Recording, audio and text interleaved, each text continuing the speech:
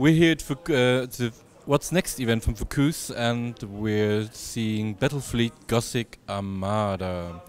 And we got here two hardcore fans and the developers. So, do you think it's necessary to be a hardcore fan of the the the universe to do a game about that with that? Well, definitely, definitely not. Um, this universe is accessible to anyone. It is very deep, and there are a lot of stuff to learn about uh, Warhammer universe in general. But this is something really accessible. Like it's, it's like reading a book. You can always start from the beginning. But it's, it's the original is a board game, and I guess there are a lot of rules I have to learn. Yes, absolutely. There's a lot of rule in the board game, but what we are doing with Battlefleet Gothic is not an exact translation of the board game. It's more an adaptation. You know, uh, the game is in real time, and uh, all the um, hardcore calculation you have to make in the board game are made automatically in the game. So it's far much more accessible, of course. But still, it's a strategy game where you need to be uh, need to be a, a bit. Uh, It's micro demanding. Yeah. Is that what you mean? Uh, yes, uh, there's a bit of micro gestion in the game, but uh, we are trying to find mechanic in order to make the game uh, more accessible, not only uh, for hardcore player. One of those mechanics is the behavior system, for example. The behavior system allow you to preset uh, behavior for your ships before the battle starts, before the battle begins. So you can focus on global strategy and global maneuvering and positioning, which is for us the most important, of course. So if I'm a fan of, uh, but if I'm a fan of Warhammer, what do I get from the game? What is what is inside the game that? Well, you get a lot of things. Uh, we are all at the studio hardcore fan of uh, Warhammer 40k, and uh, we put a lot of love. We play this game since we are very young. Yeah, you can tell And, them that uh, you started at 12 around something. That's it. That's it. So you know, making this game is like a dream for us, and we are trying to put everything from the universe that we love: a huge orcs ship, uh, terrific uh, chaos ship with the different chaos marks, the Nurgle mark, the Tzeentch mark, and uh, also I think that the graphics of the game uh, make this clear. Okay.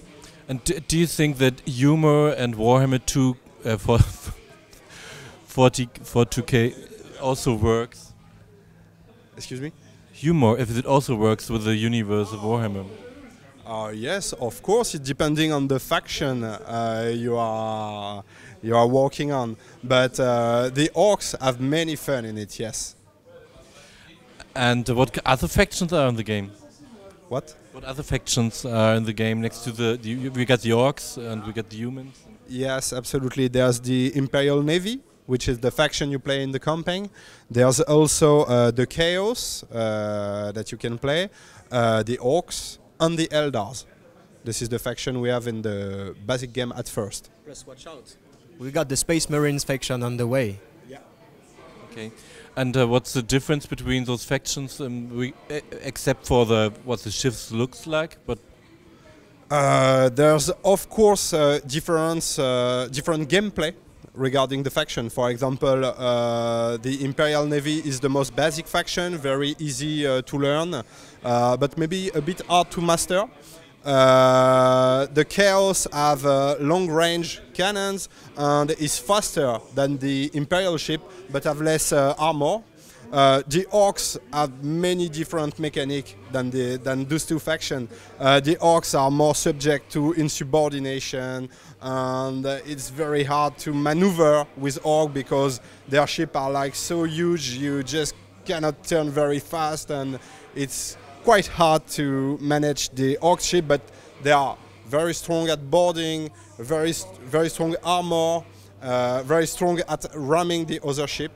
And finally, we have uh, the Eldars, and the Eldars uh, are more subtle.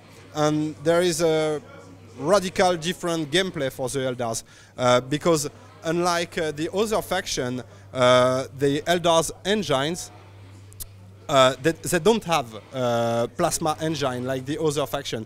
They have solar cells, which which uh, induce a very different gameplay, mostly based on hit and run attack toward the enemy ship. You have to constantly move with the Eldar. They are very weak, very fragile, but if you keep moving with your ship and making hit and run attack, they are really, really strong.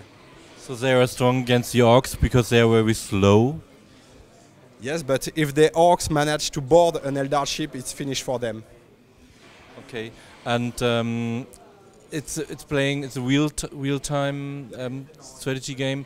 So uh, do I need to be quick with uh, with, with with what I do with my with my move? Uh, we have introduced uh, a mechanic which is called a tactical cogitator with the Imperial Navy uh, that allow you to slow down the time pretty much in order to have the time to take the best decision during the course of the battle because sometimes you know all you have to do can be a bit overwhelming.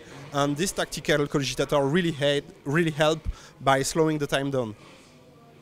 Okay and and it's I mean it's uh, from the board game it's uh, it's uh, very flat the universe is very flat have you thought about making it more more having this more in space um, the point is that we want to stay as faithful as possible to the original material. And Battlefleet Gothic is more like uh, a naval fight, you know. It's more uh, uh, a boat space game, you know, uh, because you have all those mechanics with torpedoes, boarding, ramming, and I think that it's better to stay to the original material and respect the spirit behind the game by doing so. Um, is, is, there something you you you changed? Except, I mean, that you are that this is in real time. Is there other things you changed from the from the original material? Yeah, many things. Uh, in fact, uh, Games Workshop was pretty cool with us, and they like many of our idea to, you know, improve the game by adding more features like many different skills that make the game more dynamics. Uh, we have reworked some of the mechanics. Some of them have has been leftover from the board game. Other has been included. It is, uh, you know, a good uh, alchemy. Okay. And um, this game is coming out for PC, right? Absolutely, on only PC. Only PC. And uh, how long do we need to wait? You only have to wait for a month. Cool. Thanks. I fear a storm coming to the Gothic sector. One we are not yet prepared to face.